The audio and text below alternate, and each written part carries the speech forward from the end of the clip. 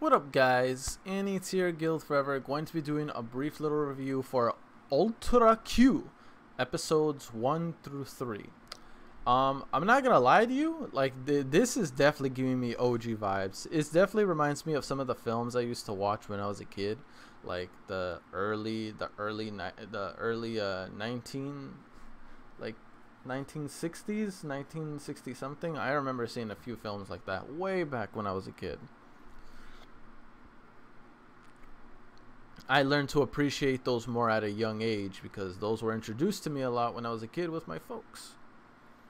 And here's the thing, this gives me the exact same vibe.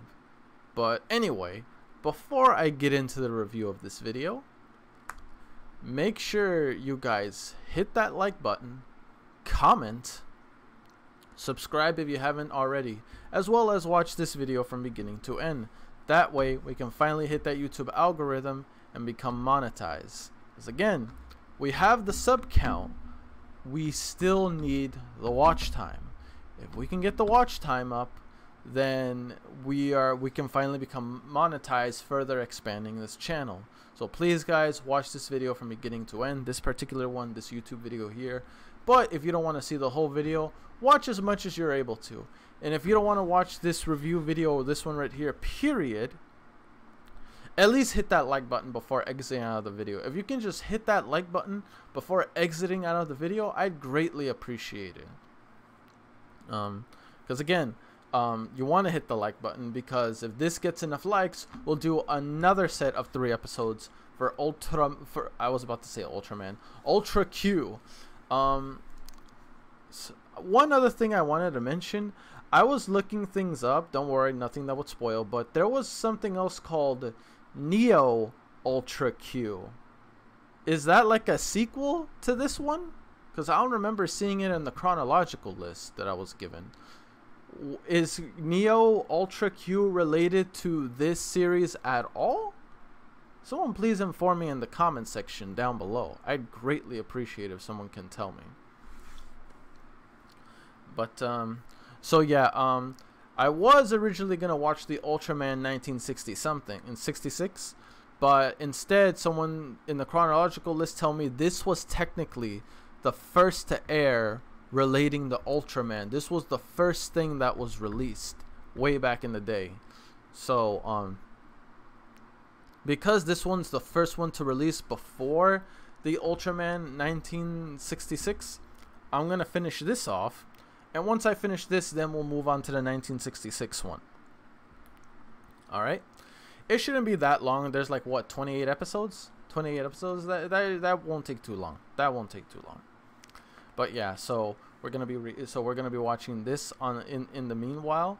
Hopefully you guys still enjoy it nonetheless.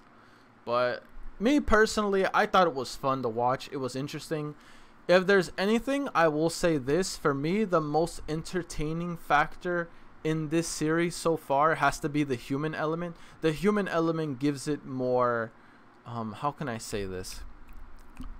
It keeps it interesting. It keeps the story afloat.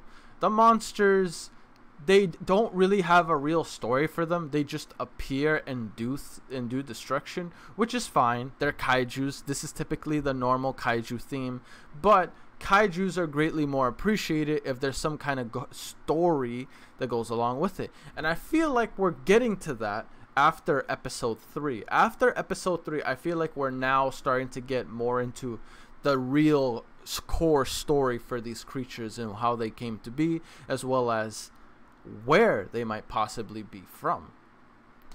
So I do appreciate that. So I was worried that it was just gonna be random monster pop pop up, and then at the end of every episode they figure out a way to deal with it.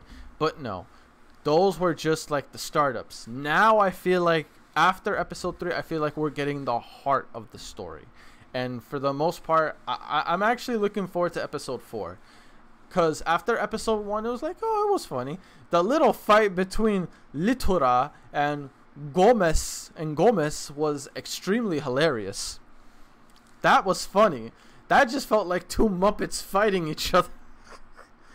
that for me was hilarious. But after episode 3, I feel like now I can start to see some more story elements being implemented in regards to where these creatures come from, why are they here, where they, and like what what is their goal. The main thing for me is what is their goal? What are they trying to accomplish? Are they, are they simply just the embodiment of destruction? which may, again makes sense. Kaiju's usually in every story related to anime, live action, or whatever it may be, especially Godzilla. Uh, Godzilla movies are like, in my opinion, the king of kaiju stories. That I don't know. No. Then again, I haven't. I I I've seen decent. I feel like I've seen a good bit of Ultraman, but not enough to where I can really say which one really. Because I was I was gonna say like no, it feels like Ultraman should be the king of kaiju's. Uh, kaiju series is what I meant to say, but I need to see more to better give that statement. Otherwise, I'm just talking out of my. So, um, can't wait to see it that. But for the most part, uh, Godzilla is the more the more well renowned uh story that ha- that is featured along kaiju's. Man, I also feel like seeing me my the classic Godzilla films, man. Those films were the shit.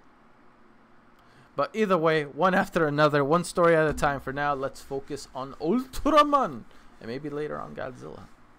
But um it was still fun to see um how each episode doesn't feel like like at first I thought each episode wasn't directly connected to one another, but no, they were. They were. They were absolutely connected. It's just the timing threw it off for me a little bit, but no, everything is absolutely connected. Uh, Yuri is one crazy son of a gun. She's willing to do anything just to make sure she gets a good story. Hey, reporters, man, nothing can stop them. Nothing can stop them whatsoever.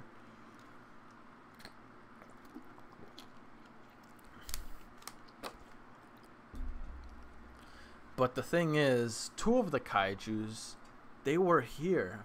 Hmm. Because this is my theory. I'm assuming that monsters or creatures from Mars. They've had those eggs there for quite a long time. Because look at how big Litura, Litura's egg was. And then there was Gomess that was just hiding out in the cave they were probably been there for many many years centuries maybe and they were probably left there from mars but now since all of them have been taken care of so far um, the creatures from mars or kaijus or whatever they're probably starting to take notice at the human activity like hey look they already took two of ours down and now we got to get more serious we're about to drop two more eggs on them and this time they're in for a world of hurt. That's what I'm trying. That's what I'm beginning to notice more or less. But I wonder if they're gonna end up going into space somehow, though. Because they can't just leave Mars unoccupied. They send them two creature eggs to deal with the humans, or at least give a message to, like, hey, relax. You're an inferior species learn your place some something like that so as for what they're planning on doing up there who knows? We'll see. Right now we need to take care of gary the snail from spongebob here and now before he decides to eat everything in sight. But apparently its weakness is salt water. Isn't that typically a snail's like don't snails not like salt water? I don't remember. Someone please tell me. Because I wonder if that's the snail kaiju's weakness or if that's overall their weaknesses. Because that's that's food for thought. Now, but at least now they know how to deal with the snail. Now it's a matter of what what what are the creatures from Mars or the intelligent life on Mars going to do next? Especially once they find out that the humans are going to take care of they already took care of one snail.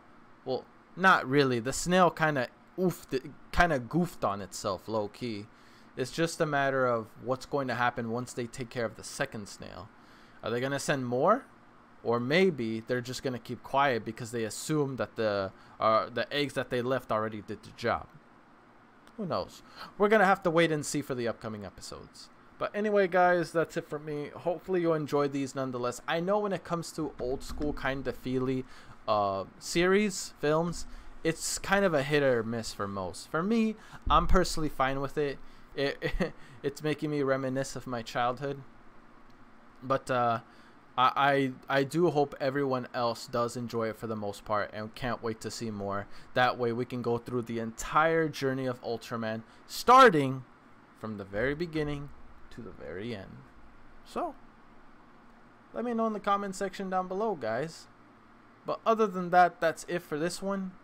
Um, hashtag, hashtag, hashtag, uh, beware the golden balls.